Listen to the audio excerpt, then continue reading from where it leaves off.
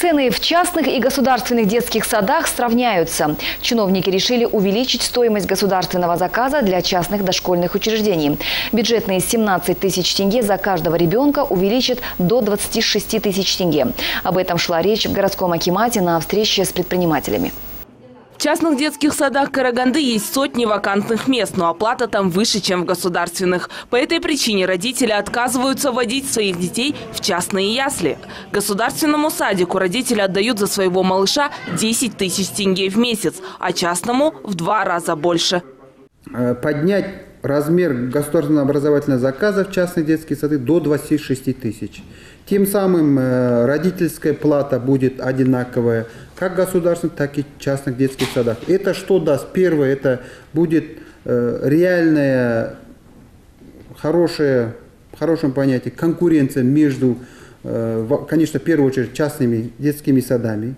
Вот э, 2-3 года назад было 5-6 детских садов, которые получали госзаказ. Сегодня уже 22 детских сада, еще больше 30 будет в конце года. В настоящее время в Караганде в своей очереди ждут около пяти тысяч дошколят. Количество садов, построенных по программе государственно-частного партнерства, увеличивается. Но вот список очередников не сокращается. Более двух тысяч детишек посещают частные детские сады. Но родители их с очереди не снимают. Несколько лет нашей совместной работы с учредителями позволили довести количество мест до трех тысяч. То есть увеличение произошло в шесть раз значительно увеличилась сеть дошкольных организаций. Предпринимаемые нами меры обусловлены реальной заинтересованностью в развитии частного сектора в дошкольном образовании.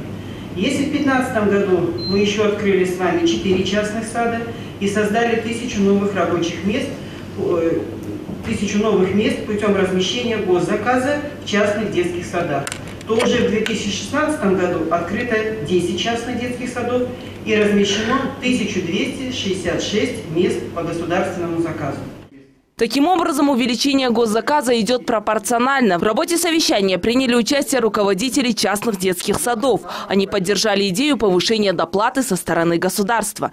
Ведь после этого половина из тех, кто стоит в очереди, но посещает детские сады, снимутся с очереди, а частные детские сады заполнятся и будут работать на полную мощность.